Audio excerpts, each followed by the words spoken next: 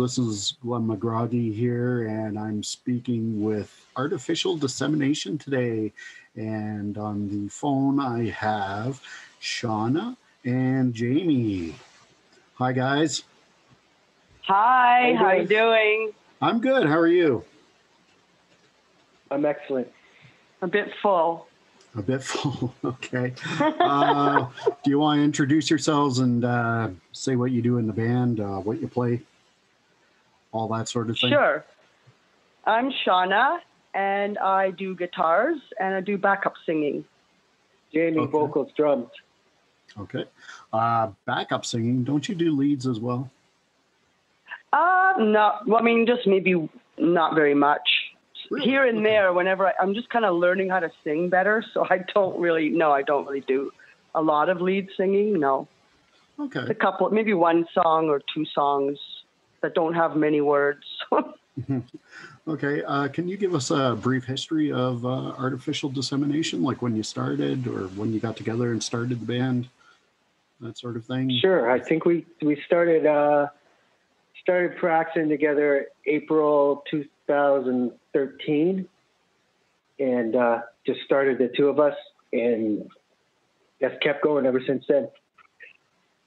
Okay. yeah, one thing leads to another, and we just keep going. It's just yeah. So COVID's a bit kind of good because we it forces us to take a bit of a break, but we're still jamming. Yeah. Um, do you want to uh, go over the releases that you've put out so far? yeah, well, in the first uh, like so we started April 2013, and by June we had uh, we we recorded our first uh, seven inch. Mhm. And then so that was June, and but that never came out till November 2013. Okay. And that was called Glare. And then that, yeah, the glare one. Okay. And then we did uh, Take Us to Your Leader, which was uh, 12 inch. That was recorded 2014. at the end of at the end of 2014, released early 2015, I believe. Um, that's the one that Jaimie Silk screened all the covers for.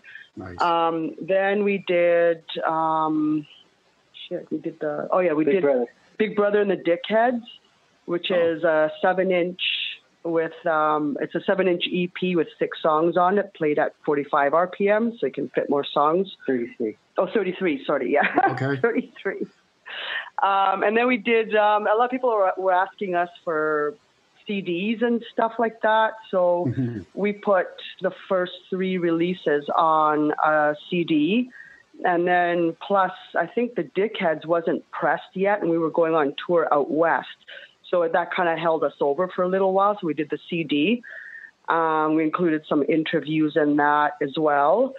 And then we just recently released another 12 inch and it is on vinyl again. And it's Uh, called- pe- uh, mo- modern day peasants. okay. And that's the one that Tarantula Tapes is uh, putting out as well, correct? Yeah, but Tarantula has a couple of like bonus tracks from our o- earlier stuff on there as well. Oh, okay. So it- it's not just the, it's not just the vinyl. It's like other pr- a, a couple of other songs from other. Well, how many? Four songs. One more song. Four more songs from other vinyls previous Okay. On that. Um, so it's got a few bonus tracks. Nice. Um, I wanted to talk a bit about uh, the CD, uh, past, pres- past, present, and future. Um, not only does it include Take Me to Your Leader and Glare, and you said, what's the other one called? And it has and Dickheads. Okay. Um, you also have interview clips on it and uh, some recordings from CIUT, that's correct? Yeah. Um, the the versions uh, like the CIUT uh, session, that was uh, some of those songs weren't even out then. So are those basically like a demo version or a working version of it? Uh, kind of. Uh, well, we'd written the songs and we were playing them, but we just hadn't recorded them for the album yet. So Oh, okay. we just kind of were doing what our newest songs were at that time. So yeah, a lot of them weren't recorded yet for the album. So I guess I guess that fills in the spot of future. Yeah. Okay. Well, cool. Yeah. And, Yeah, it's and Dickheads was future too, because Mm. it hadn't been released yet. Oh, okay. Yeah, that's uh, Mhm. that's a pretty cool idea to do do something like that. Gives, Yeah. uh, Yeah. gives people well, a it was different. past. Yeah, it was all the past releases, and those were way past. Mhm. the future was the Dickhead ones because the Dickhead's record wasn't even out yet because there hadn't been. It takes a lot longer to press a record than press a CD. Mhm.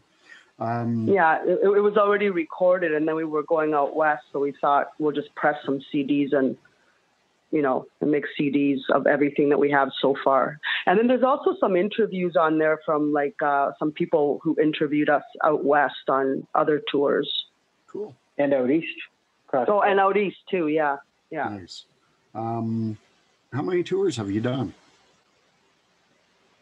I forgot.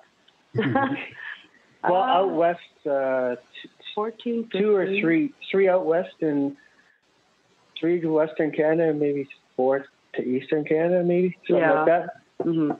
Yeah, and then we went and played a couple shows in Cuba. Yeah, I was uh, going to ask you about that. Um, do you want to tell us about that? Because you you kind of did it um, a bit differently than most bands would. Um, you you took uh, some extra instruments with you and uh, left them down there, if I'm not mistaken. Is this correct? Yeah, we just they don't have much musical gear down there, so I brought down a a big. My luggage was a big acoustic guitar case, and I had a, a electric one of my old electric guitars in it, and uh, it was just packed full of strings and drumsticks and miscellaneous music equipment and pedals and uh, pedals and chords and all kinds of stuff that they can't get down there. So when we went down, we shared the rest of the stuff with other bands, and then all the stuff that we brought down there ourselves, we just left it with them to use because the bands were using like uh, uh, like like cables from their bicycle brakes for guitar strings and stuff, and Oh wow! all the drum drum gear was uh, the sticks were all busted and taped together, and some of the drum kits were held together with vice grips and bolts and stuff. So just whatever I brought down a bunch of stuff and just left it with them so they could get their gear kind of fixed up and have proper guitar strings and picks and everything else. Nice. Yeah, and and the and the gear that Jaimie, like the guitar that Jaimie brought down, like they all the bands kind of share it too, is right? Oh, Yeah. Okay. They have- Yeah, like they really share everything down there. Okay. Um, how Yeah. how many bands are uh, in like down there where where you were? Uh, is there a, a big sort of underground punk scene or? Yeah, the shows that we played were pretty well attended. Oh yeah. We I think we met about uh, like four or five bands down there. Yeah, there's a few dozen bands, and a lot of them share members and stuff. It's kind of uh, not really legal for them to have rock bands or Oh, punk really? bands or anything.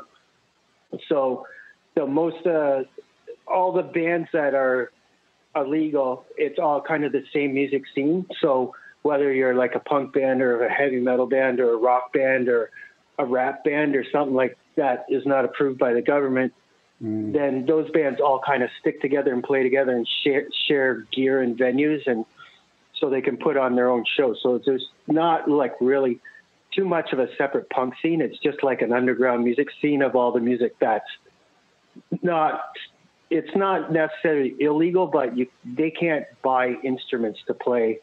mm, Like you can't buy an electric guitar down there. You go in the music store. mhm. But if you were a classical guitar player or a, a, a flamenco guitar player, you could go into any music store and get your gear paid for by the government and lessons and play concerts and all that would be set up by the government and local councils and your music equipment and your training and stuff is supplied. As long as you're paying the kind of music that they want you to play. but if you're yeah if you're in a heavy metal band or a punk band or like the one band we played with was kind of like a musically we're close to like D beat or metal, but the singing was kind of more like five or six rappers going over kind of heavy metal music. It was really different, and uh, so obviously they're not going to be able to uh, get any help. And they you, even if you had money, you couldn't like just go in and buy. You know, they all did like tr- drop D tuning, so they couldn't get any guitar strings for this stuff. So actually, I had a whole bunch of guitar strings like that. So. We were able to restring all the guitars. They're pretty happy. That's pretty awesome. Yeah, that was just one of the bands that we played with, but the Yeah. other two or three, like they were pretty well punk rock. Yeah. Cool. And uh, yeah. So, but it was just neat that everybody just kind of all played together the yeah. show. Um, do you still keep in touch with these bands, or can you keep in touch with them, or what? Like, um, Well, one of them kind of moved up to Canada and Spain, and I I think some guys stayed back. Mhm. Um, we're yeah, we're still in touch with them on Facebook here and there.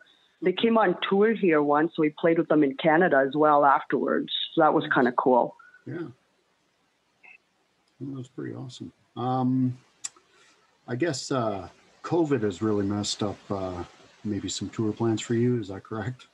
Like, did you have Yeah. anything planned before uh, everything went into lockdown? And I guess when it all happened in March. Yep, our record was on the press, Mhm. and then it was, you know, shut everything down like in March, right? And Yeah. so it got delayed by, I think we actually got it in our hands at the end of May or June or something like that. I can't remember now. Uh, it might have been April. It got pressed pretty fast because they only closed down the pressing plant for about two or three weeks. Okay. Oh, I thought it was And, longer than yeah, that. I think we had it in April, but we planned to spend the summer, just summer and fall, just playing all around Ontario, and then do a trip to Western Canada, a trip to Eastern Canada. yeah, we had some shows booked and stuff. Yeah. but yeah. We had we had some plans in the works. That what didn't like have a full tour book, but we were already starting to work on our summer plans for touring the album because we knew it was going to come out probably in April or May. Mhm. But we planned by around that time to be really active. So we just kind of started getting. We had a few shows on Ontario booked, and we were starting to line up stuff for out east and out west. But then by the end of March, we realized like, oh well, everything's just kind of on hold now, and it still is. Yeah, so it's it's kind of a, a drag. Kind of miss it, like everybody else does, probably. Uh, you know, but you can't really help it. So we're just doing whatever we can, like other stuff that you can do Yeah. to keep it going. hmm So are you? Are you? And and we have our own rehearsal space, so and it's just the two of us. So in that sense, we are able to continue practicing at least, right? hmm Okay, that that brings me to uh, another thing. I'm I'm kind of a music geek, so uh, I it always interests me to uh, find out how songs are uh, written with uh, different bands and stuff. So how does the song work? Uh, the songwriting work with uh, artificial dissemination? Is it is it uh, both of you writing like guitar riffs and stuff? Because I know Amy used to play guitar. Um, or is it, or is it you, Shawna, who's writing all the guitar riffs and or what? Like what? How does this happen?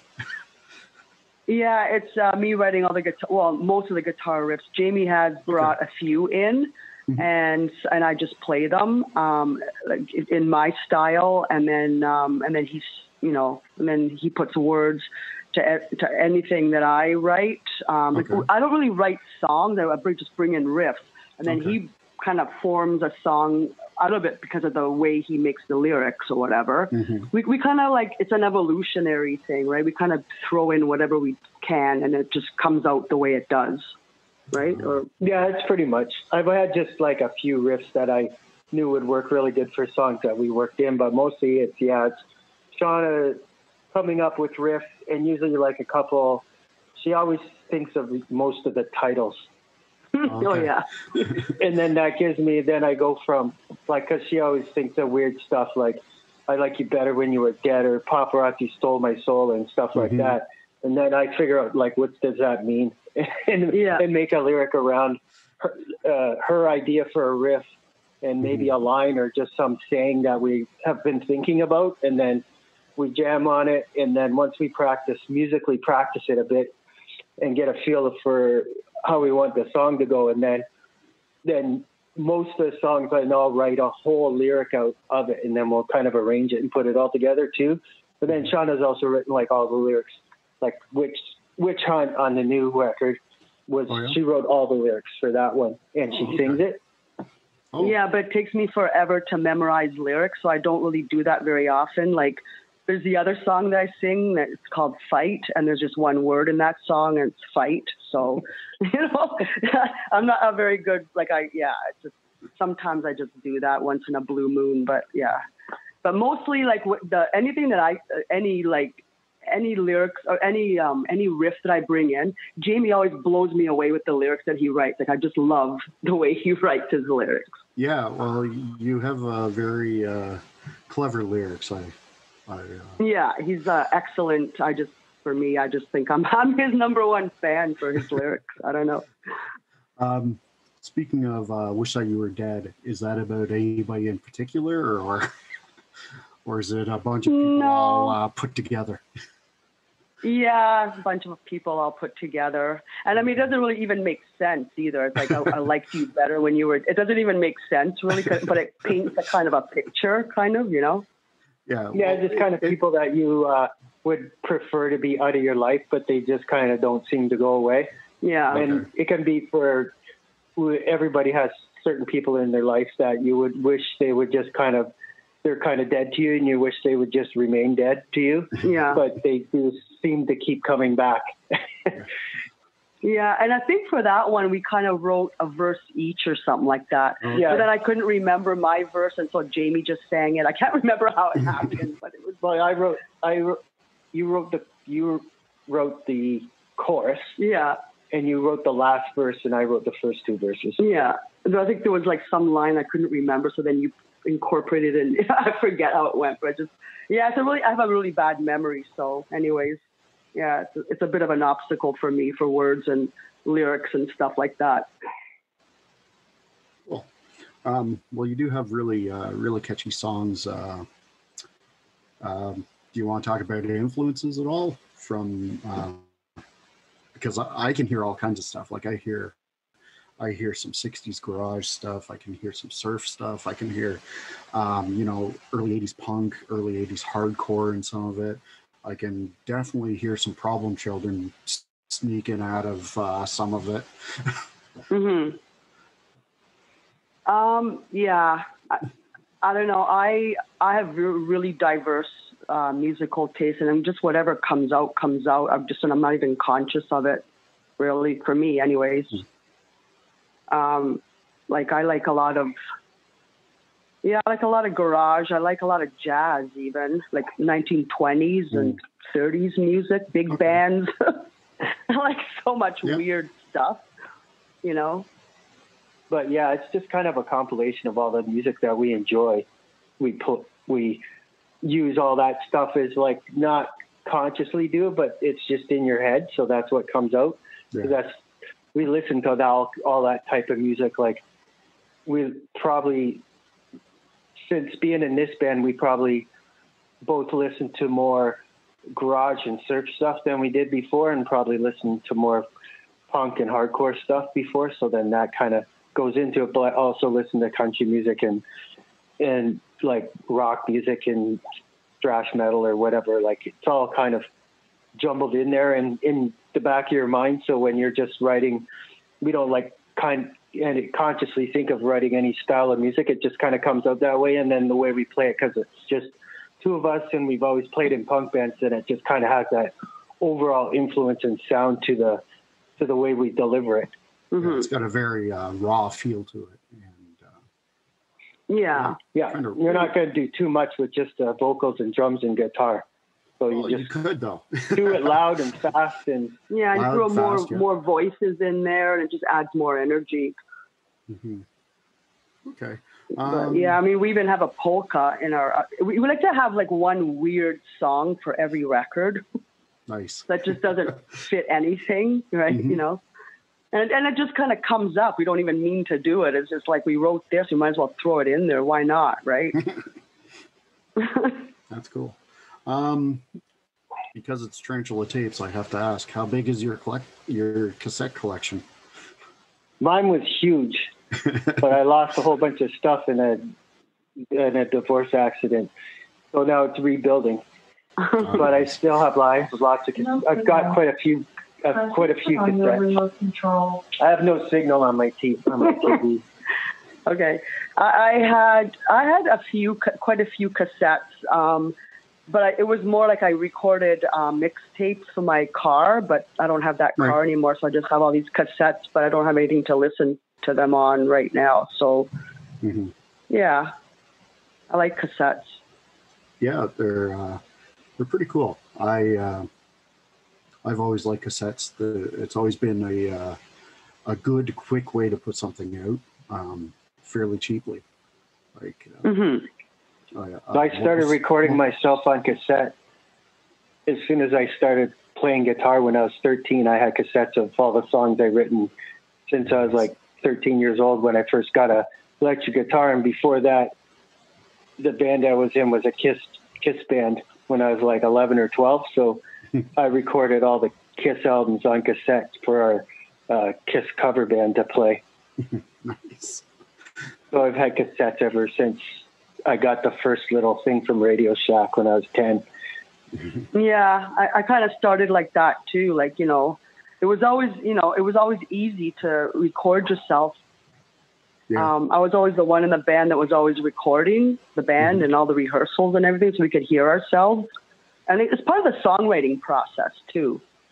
Yeah, um, yeah, we still do that. Uh, we do it a bit different now, though. Uh, we break out the cell phone and just kind of record it on the cell phone and um, Yeah, ship it off, yeah. to, Now, I, off to the band. yeah, so and I, and I do have a Zoom player right now, more than a cassette thing. But before I used to do it all on cassette, right? Yeah, Yeah, when we're writing songs, we have the Zoom with us all the time. So we we we do the Zoom recording of our jams and then listen to that back to like flesh out the songs and get ideas and keep it fresh in our minds till we got it down the way we want. And then Mhm. for this newest album, we actually also have a 16 track digital recorder.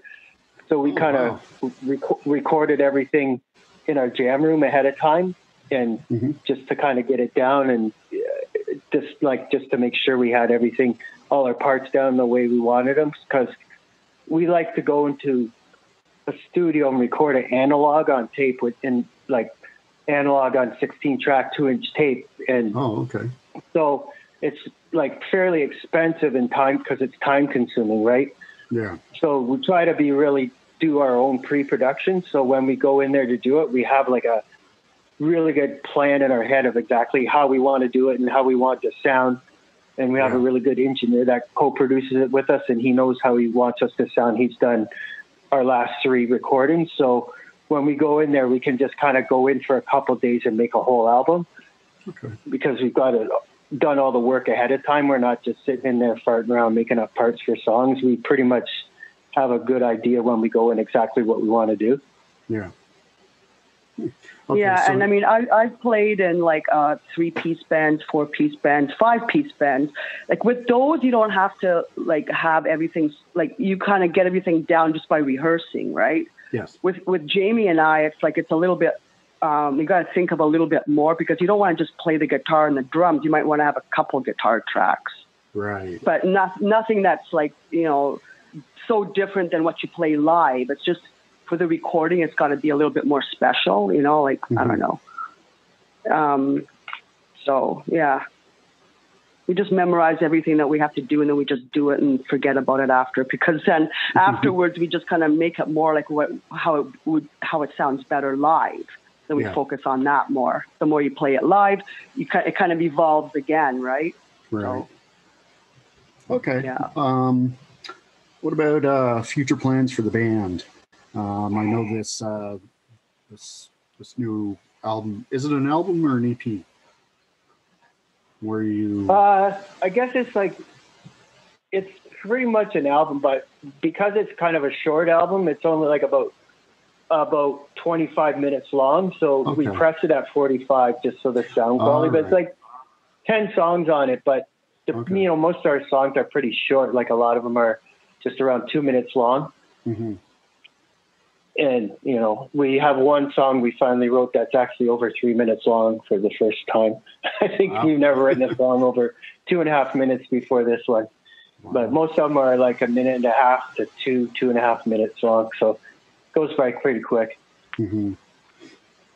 Okay. And uh, where can people check you out? Um, do are you actually mailing out vinyl um, Yeah. sort of thing. If you go to our Okay. if, if you go to our Facebook page, then we have a thing there for mail order of how we do mail order uh, from through our Facebook page, and then there's like a digital release of it, and of all our stuff is digitally released, and it's also on Bandcamp as well. Yeah, we have Bandcamp. We've Mhm. had Bandcamp from the very beginning. We started. We just started to have it the mail order. Like it's more for local. Like well, it's, it's for anywhere, but I guess the the the mail order doesn't have like fees associated with it. Okay. Um, is everything still available on vinyl, or is uh, is the first one sold out? Yeah, Oh, it is. Okay. no, everything. We still have copies of every release on vinyl. and Mhm. we still have copies of the CD that has the first three releases and all the inter- interviews and live on on the radio stuff. Mhm. And the new album is on vinyl, and then now the new album's on cassette on Tarantula with four bonus tracks. There's like Nice. songs from there's like the four songs are songs that were previously released on the Take Us to Your Leader Okay. 12 inch and the Dickhead 7 inch Okay. those those four songs from from those two releases as well. That is on the cassette. So the cassette's about half an hour long, and then uh, yeah, everything's available in t-shirts and stickers and that kind of stuff. Nice. And that's um, and you do your own label, Seminole Records, correct? Yeah, Okay. Is there um, Yeah, we- is it just you guys on that label, or have you put out any other bands, or is there plans for any? yeah, it's just us for now. Um, we've Okay. been so busy with the band that we haven't been able to do anything more with it. But Mhm. yeah, I mean, in the future we might do. More. We have ideas of other stuff we want to add to it Yeah. as well.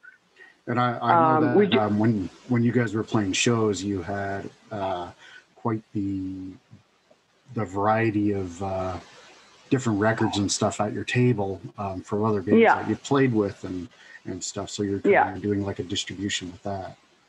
So Yeah, it's, it's bands that we've played with. Um, uh, so we just kind of buy records off them and then we just sell them at our table, usually for the Mhm. same price. um, but so we we have we do have a, a website for that, just so people can get more information on the bands that we. It's like a promotional thing more. Like we just want to Okay. get the the word out, you know, Mhm. um, about these bands that we're meeting and that we like and stuff like that. Um, and it's just just an, an interest thing for us. Mhm. Um, They're not really on our label or anything like that. Like I think that It's, there's too much responsibility there for for that, right? this their seminal distro box. Yeah, okay. But if people can mail order that if they want to, we mostly we don't really push that. But if they're getting if they want to get a bunch of records off of us, then we uh, like they can pick anything off of. There's a there's a there's a Facebook page that shows the records that we've gotten off other bands, and so if we still have copies of that, we'll we'll mail them out now too. And then also besides the bands that we've gotten stuff off that we've met or played with, and either bought records off them or traded records with them for our records, or also we have uh, pretty much all the a lot of the schizophrenic records too nice. from from uh, Craig from Hammer City. That's his label, so he always gives me a bunch of few copies when he releases stuff to to sell in our box too. So we got a bunch of that stuff. I would just like to add that um, with uh, with the Seminole Records, uh, I really enjoy how you include lots of uh, lots of lots of reach, reading material with your with your records. Um, you do the uh, kind of like the news um, paper with it, kind of like a fanzine. yeah. The Dis News. Yeah, Yeah, we do a different dis, dis, dissemination dis news with each release has some sort of uh, insert in it. There's been a little different format each time. One was kind of like a tabloid newspaper in glare, and then yeah, the one in the one in uh, Take Us to Your Leader was kind of like a fanzine, Mhm. and then the one in Big Brother and the Dickheads is actually a huge poster. One side is like the cover, which is a piece of art that Shawna painted, and then the back of it is like a huge sheet with all lyrics and pictures, and that's another disc news. And then the new one has a great big booklet in it too uh, for the uh, Debt Slave with lyrics and other stuff in it. So yeah, we spent a lot of time and and extra time and money to, to put something interesting in each record. Yeah, well, Yeah, because with uh, I you know, appreciate with it. yeah, I mean, with artificial dissemination, it's like it's not only the music; it's like other stuff that goes with it. That was always our vision. Mhm. You know, like written or you know, we haven't done any video really yet, um, anything serious there. But yeah, it's like all sorts of dissemination of any kind of information, kind of Mhm. like, right? Yep, it's always a good read. And you've Mhm, also and- uh, you've also mentioned we're not just DIY; we're uh, DIY plus friends. Because you get you get your friends in there helping you with all kinds of things too. Yeah, Yeah, we have like friends of ours that helped us with doing the the artwork on the covers and Mhm. photography and helping us lace like put put the other stuff together. We do a lot ourselves, and then we do everything else with. We don't know how to do something, then we get. We usually have somebody we know that can help us out with stuff. Yeah, like like the guy uh, for our, our last record, we did uh, we used one of the guys from Sago to do the graphics, and then Cool. this uh, this girl from Zero Four back in the late seventies, the first generation punk bands in the in Toronto. She did the photography, Oh wow! um, Zero, and then uh, what else? Augie did the cover. Oh yeah, then there was a, a, a Hamilton artist who painted the cover Nice. friend of ours. So yeah, we like to include people that we know. Yeah. I mean, obviously, right? Yeah. Well, I know uh, Casey was really, really excited about um, doing a tape for you guys because she was all like, "Oh, I'm so excited! Uh, these guys do everything themselves, and the fact that they're letting us put out the tape is, oh, I'm just so honored, and it's, it's just so great."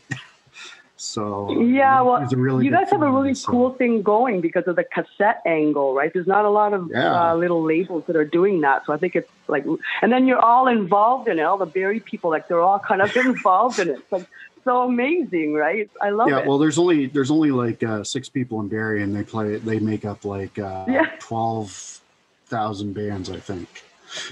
yeah, but uh, no, yeah, um, they were like, "Hey, do you want to do interviews for us for Tarantula Tapes?" And I'm like, "Sure." And they're like, "What?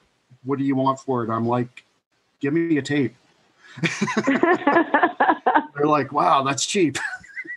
yeah. so yeah, no, it- it's it's fun, and uh, they've um, opened my eyes to a to a few different bands too that I probably wouldn't have um, known about. So it's, always, It's all uh, around a good thing. it's it's always fun learning about new bands and uh, just getting to meet people.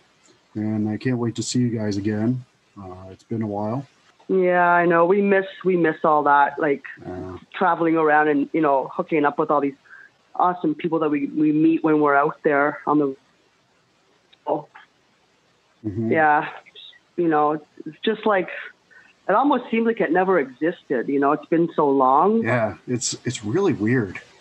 It's really Yeah. weird. Um, It almost it almost seems like it's a, a big plot to just stop everything. like it's Yeah. it's so weird. It's like another world. I don't know what it is. I I, I don't know what the new world is. Go- like, I don't know if there's if it's just going to be the same or we just imagine it's going to be so different. It's probably just going to be the same as it was before, with a huge gap in the middle. But that's what I hope, anyways. Yeah. well, maybe better. I hope. Yeah, with a few Yeah. things that are a little bit better, probably. Yeah. Yeah. Well, thank you very much for your time and uh, answering my stupid questions. Um, No, no, you had great questions. Thank you. um, but yeah, I'm uh, really looking forward to seeing you guys be like playing live again. And uh, are you going to do any webcasts or anything like that coming up to uh, kind of launch the new album, maybe? Uh, Not really, yeah, but we never really do. we're kind of thinking. kind of one thing we're kind of been thinking about if this keeps going on much longer, then we're going to probably start doing some videos. Oh, okay. We're kind of in a transition now because we're tr- transitioning to a new practice space sometime within the next few months, Uh, where we have a little bit more room to work with stuff, mhm. to work on stuff. Because our practice room right now is like Uh, so it's a large closet, basically. it's it's all ours, but it's like not in a convenient place for us to get to, and and it's uh, like seven feet by thirteen feet or something like that. It's Wow. great for two people, but you don't really want to share it, right? Yeah, it's I- so small, don't- and I mean drums Yeah. are so loud that we have to like be right The on top of each loud. other I and have ear earphones put earplugs in because it's so loud. You got to turn everything up so loud to get it over top of my drums. Yeah. So I don't, now I, I'm I building don't a think I'd want studio. to be in there with uh, Shawna's guitar amps. yeah, Yeah. I got the She plays guitar loud. amps and a PA and Yeah. I don't know how to play soft or sitting Oh. down. yeah. That's I can't play my drum soft either. All right. Well, thank you guys. Okay, have a great night. You too. Okay, bye, Glenn. Thanks. Bye.